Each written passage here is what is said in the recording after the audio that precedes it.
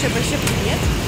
Пока у нас свободный день, мы гуляем по Нечанку, зашли на рынок и в одной из лавок купили вот такой сок.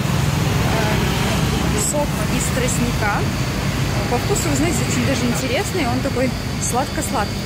Сладко-сладко-сладкий, я бы сказала. Очень такой интересный, насыщенный вкус. Советую попробовать. Ребят, мы будем сейчас пить сок из тростника. Вот сейчас я вам покажу, как, как его машина делает.